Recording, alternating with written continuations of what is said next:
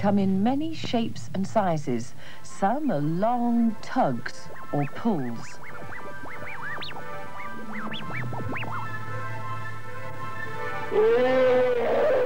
Some are giant heaves or lifts. And some are quick tweaks. But what they all do is move things.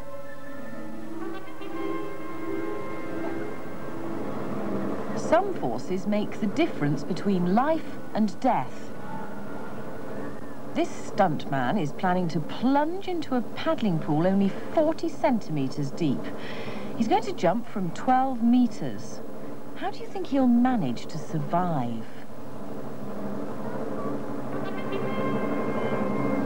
Knowing something about forces will help him.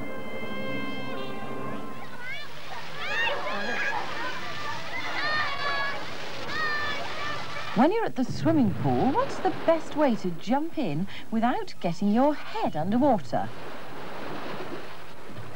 To tackle a problem like this, a scientist thinks about the forces involved. When you jump out of a plane, a force starts pulling you down, the force of gravity. Then another force starts pushing up against you. This upward force comes from the air. It's called air resistance or drag.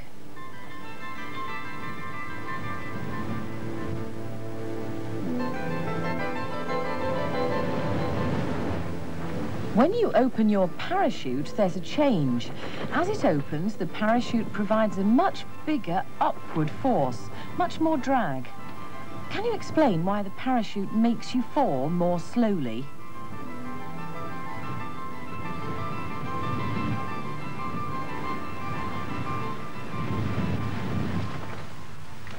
When you bounce on a trampoline, there's an upward force from the bed of the trampoline. The downward force is gravity. But here, the upward force can get bigger than gravity. That's why you start moving upwards.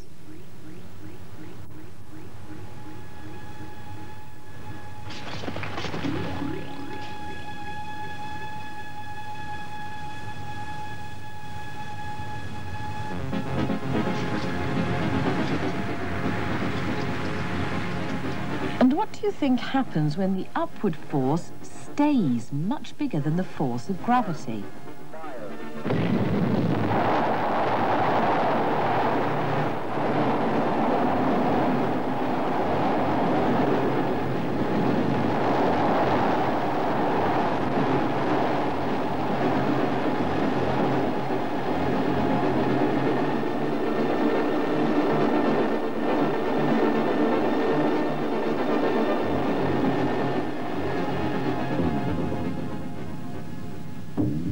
Remember, forces come in many shapes and sizes, but what forces do is move things.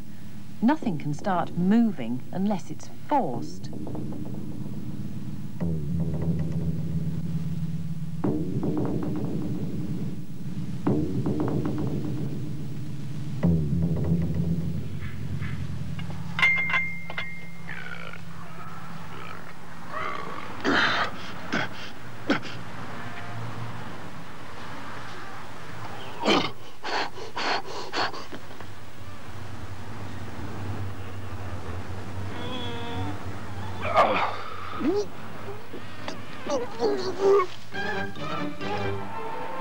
Some forces are pushes or lifts. Some are more complicated. Parascending needs a pull and a lift.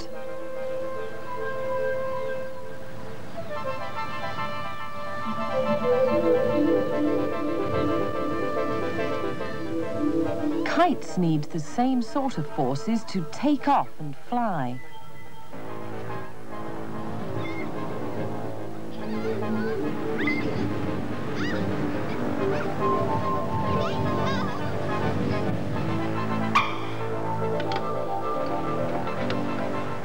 Some forces are twists.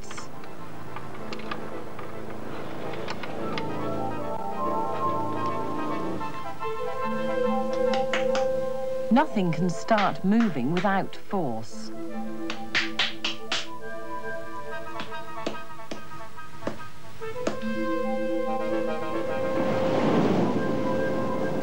Where do these forces come from?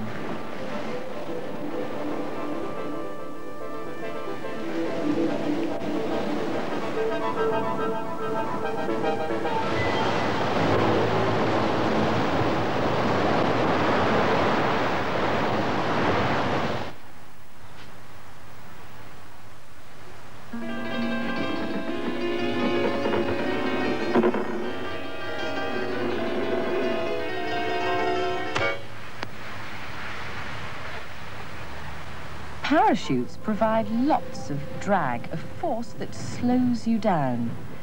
But fast swimmers don't want to be slowed down. Dolphins are streamlined. Sharks are streamlined too, and so are penguins when they swim.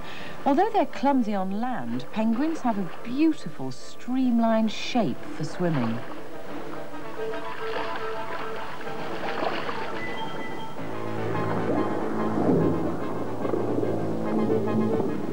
Being streamlined means having a smooth shape that isn't slowed down by drag.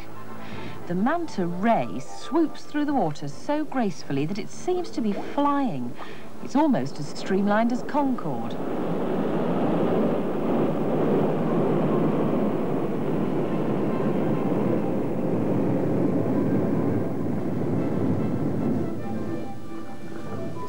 Fish don't need to swim fast and they aren't so streamlined. This pufferfish has lots of drag. Some cars need parachutes to slow down. And skydivers need plenty of drag for soft landings.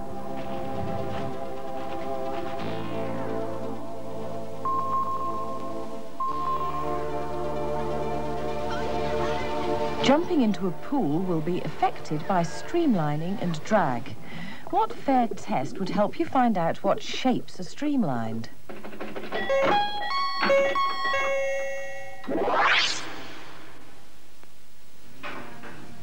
These scientists are dropping lumps of plasticine into wallpaper paste and noting how long each one takes to reach the bottom of the measuring cylinder.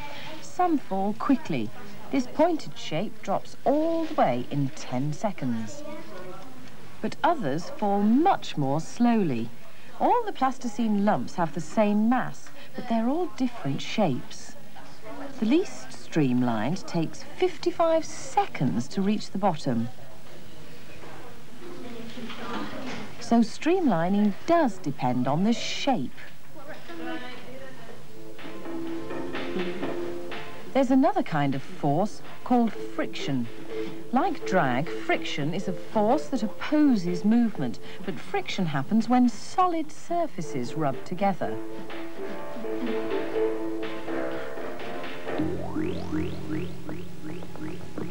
Without friction, you wouldn't be able to run. Your feet would slide backwards on the ground. It's the force of friction that pushes you forwards. But friction can stop movement altogether.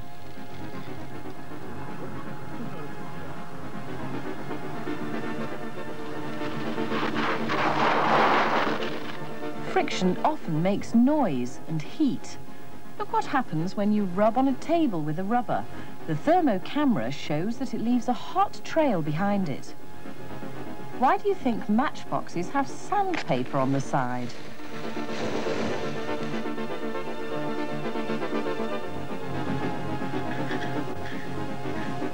Friction can sometimes be bad news. Suppose you've tried on a ring that doesn't belong to you. Too much friction can be most embarrassing. How can you reduce friction? What you need is a lubricant. A lubricant is something that will cut down friction. Oil is a good lubricant. Oil is slippery and will help the moving parts of the bike to slide smoothly past one another.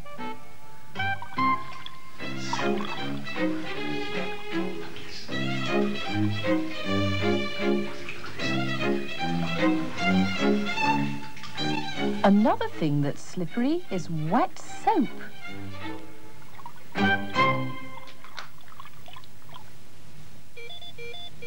Could liquid soap lubricate a finger?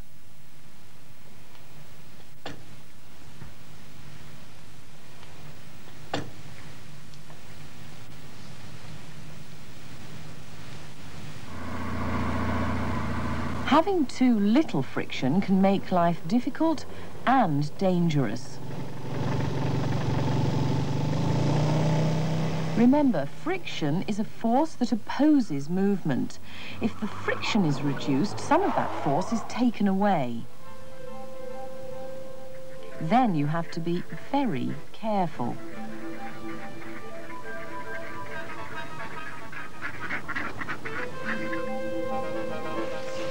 But some people positively enjoy sliding about. Which are the low friction surfaces here?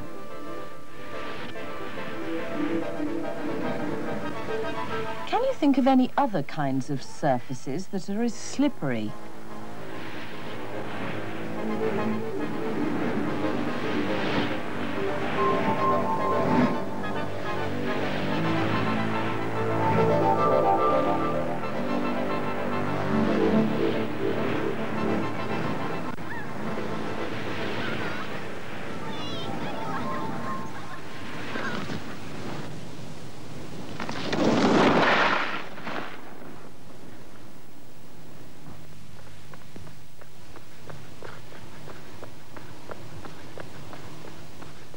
If you read comics, you might think that the slipperiest thing of all is the banana skin.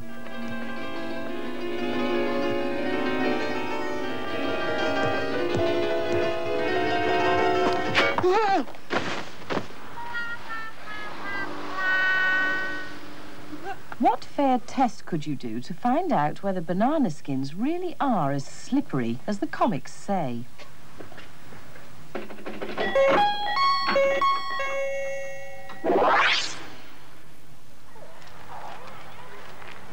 Oil, soap liquid and banana skins. When bare feet stand on them, which do you think will slip most easily? I think the oil's going to win. Because it's a lubricant, it's going to make it go faster. Salt liquid. Also because it's a lubricant in it. You know, it'll slip faster. What about the banana skins? According to comics, they provide the lowest friction of all. Well, there's, most of it's just make-believe, isn't it? If you look at a comic, it's just make-believe. When the volunteers are standing on the different surfaces, the board will be slowly tilted. They all have to stand up as long as they can. Who's going to be the first to slip?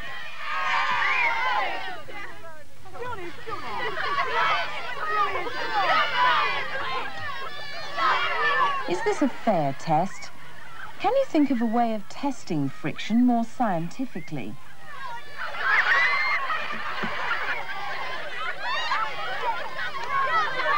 And which of these surfaces do you think has the lowest friction?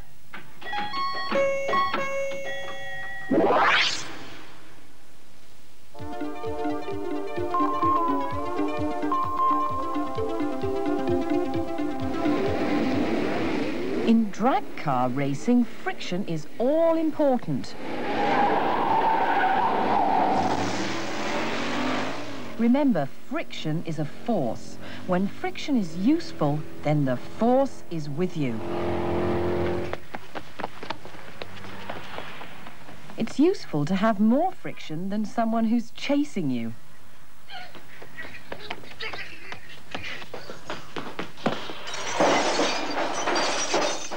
What's the force that gets the lipstick on the lip?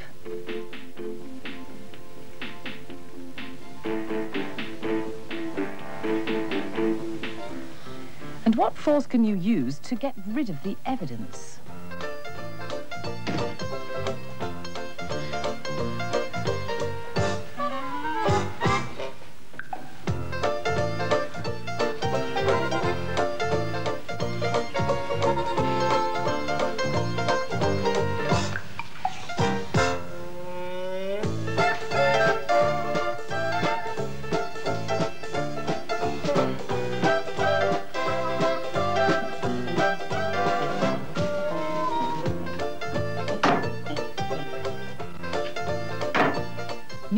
Dough needs both force and friction.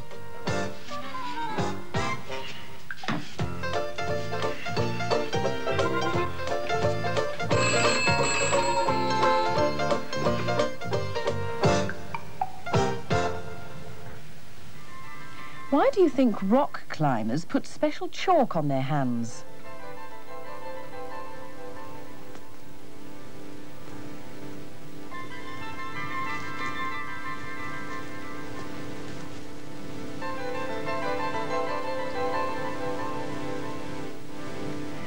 Why do snooker players chalk their cues? What difference might chalk make to the friction?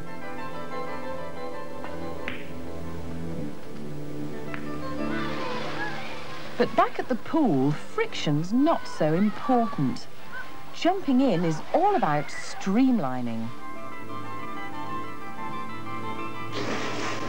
Divers make their bodies beautifully streamlined and go straight through the water surface. When gannets dive for fish, they fold their wings at the last moment to cut down the drag. But this young one chickens out and avoids going under by not being streamlined. When pelicans land, they avoid being streamlined too. For maximum drag, they stick out feet and wings as wide as they can.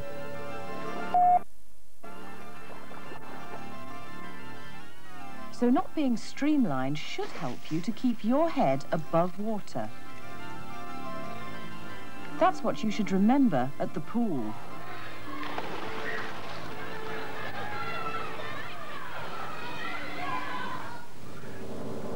And that's why a paddling pool is deep enough for this stuntman.